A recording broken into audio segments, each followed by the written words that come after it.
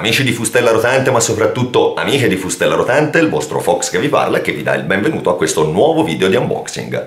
Oggi apriremo la scatola di Seven The Sins, gioco di David Spada, illustrato splendidamente da Nicola Angius ed edito da Gate On Games. Si tratta di un party game da 2 a 5 giocatori nel quale dovremo ricordarci anche in qualche modo, perché c'è una piccola componente mnemonica, le carte che avremo preso dal display e messo nel eh, nostro mazzo per vedere se alla fine saremmo stati virtuosi o peccaminosi. Ma senza oltreindugiare andiamo a vedere il contenuto della scatola. Togliamo il cellophane. La scatola è piccolina, molto trasportabile, ma bella pesante, bella piena. Togliamo il coperchio, ci accoglie subito il regolamento, si tratta anche qui di un regolamento eh, multilingua, molto colorato, ci sono esempi e illustrazioni in quantità. Eh, ci accoglie poi la plancetta dell'abisso, doppio lato, uno in italiano e uno in inglese, sono perfettamente equivalenti.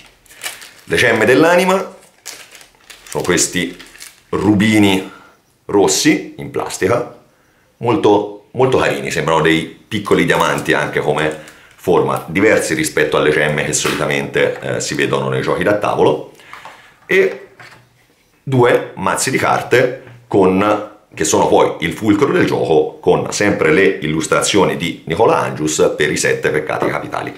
Andiamo ad aprirne uno per vedere cosa c'è e come sono illustrate.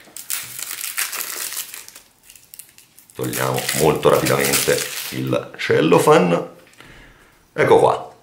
Le carte come vedete si riconoscono sia per il colore che per il nome. In latino è stata fatta questa scelta eh, del peccato. Sono in formato tarot e sono belle spesse. Non telate ma comunque le carte hanno un'ottima consistenza come vi ho detto ce ne sono due mazzetti, questo è il primo, dovrebbero esserci, e mi sembra di averne adocchiata una, ecco anche le carte riepilogative eh, che saranno date una per giocatore all'inizio della partita che ricorderanno i vari punteggi eh, delle carte in base al numero che avremo accumulato sul, nel nostro mazzo. Concludiamo facendo vedere anche l'inserto in plastica, cosa non scontata per eh, giochi in questa fascia di prezzo e che può contenere benissimo anche le carte imbustate perché vedete c'è un sacco di spazio ai bordi. Non è nemmeno troppo sovradimensionata come scatola, come a volte succede anche per questo tipo eh, di giochi, come dicevo. Quindi, questo è tutto. Seven The Sins, David Spada, illustrato da Nicola Angius, edito da Gaton Games. Io vi do appuntamento al prossimo video e mi raccomando, restate in gioco. Tchau!